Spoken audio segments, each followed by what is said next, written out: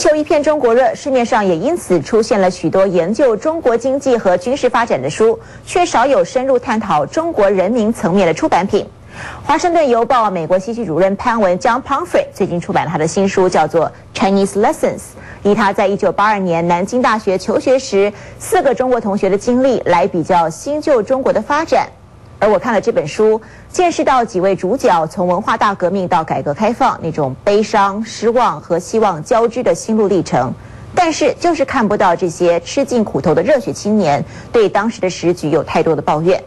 今天的高峰会人物潘文对我的疑问有这样的解释：那个认命那个词儿，那个人那个词儿，在中国的文化里面，它有一个非常强的一个位置。另外呢？中国现在的那个政治的情况，它不允许你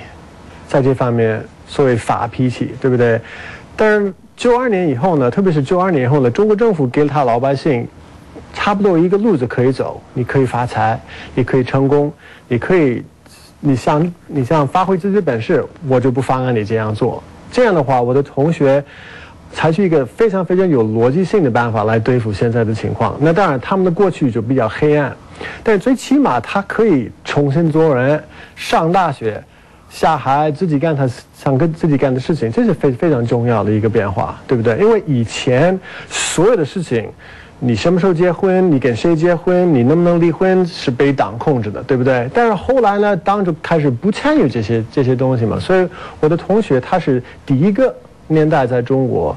享受这方面这方面的自由，我觉得这也是一个非常非常重要的一个变变化。有人说，中国经过了历经非常多的苦难，从早期的帝帝王制度，还有封建主义社会，到后来的八国联军外力的介入，还有中国自己的文化大革命，经过了文化的真空期，经过了经济的非常的贫穷的。那么有些人觉得说，如果中国不经过这些苦难的话，那他现在的是完全的是不可同日而语。可是有些人就觉得说，其实中国就是因为这样一步一步的走来，经过这么多磨难之后，才会有今天。那你在中国这么久，你的看法是什么？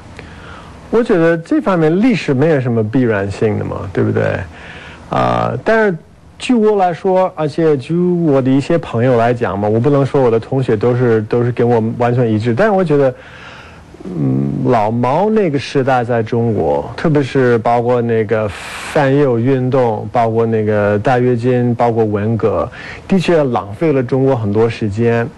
我觉得那个所谓。最左的那个共产主义对中国来讲并没有什么好的印象，所以我反正至于近代史来讲或者现代史来讲，我觉得四九年到大概是七八年，的确是浪费了中国很多很多时间，所以我觉得。不一定同意那种观念。中国必须得通过那么苦难的一个过程才可以有今天。我觉得，要是没有那个三十年的历史的话，中国可能可能会更好一些。因为的确是对中国的，呃，环保也好，中国的经济也好，中国那个老百姓、中国人与人之间的关系，中国的文化来讲，那个很大的一个打击。这个时这个时期过了以后呢，七八七八年以后呢，中国的确变成变成一个新的国家。所以，但是我觉得文革。对中国那个那个灾难太大了，特别是思想方面的灾难太大，而且现在还有很多影响。你从一九八零年的时候到到中国，然后一九八一年开始进入南京大学的历史系，跟同班同学一起念书，然后住中国人的宿舍，并没有特别的优惠。嗯。那么你这么贴身的跟当地的中国的学生，尤其是这种很乡下的地方的，还有很生活非常清苦的一些人，生活这么久。对你日后做工作有些什么改变？譬如说，你后来在一九九八年到两千零三年的时候，又回到中国，成为华盛顿邮报驻呃北京的呃特派中心的主任。如果你没有经过这一段跟中国这么近距离的贴身的真正的体验，而不是采访，是真正没有目的的，你的新闻取向会有什么不一样？那肯定不一样了，因为反正有很多记者来讲。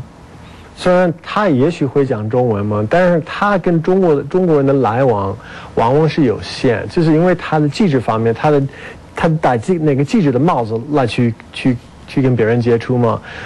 我在大学念书，我又不是记者那个时候，而且我很小，我二十一岁到二十二岁嘛，而且其实我我在我班里可能是最小之一，他们都叫我小潘嘛。这种关系嘛，我觉得，而且这种。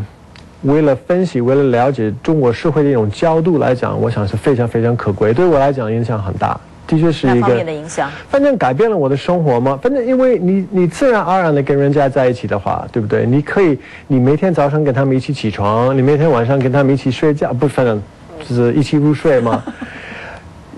是一个非常非常你你是慢慢的吸收他们的文化。它不是一种从上到下，我教你怎么想我们，我教你怎么了解中文，就是因为你往往你你你天天跟他们在一起，你跟他们在一起玩，跟他们在一起旅行，这种机会慢慢吸收他们的文化的机会是非常非常可贵。正因为潘文在南京大学读书的时候和本地的中国同学同住在宿舍里面，他对中国社会的了解当然是超过了一般雾里看花的西方观察家们。明天。我对潘文的专访将探讨美国和中国之间的互动关系和他的南京大学同学们二十年之后的现况。我们明天见。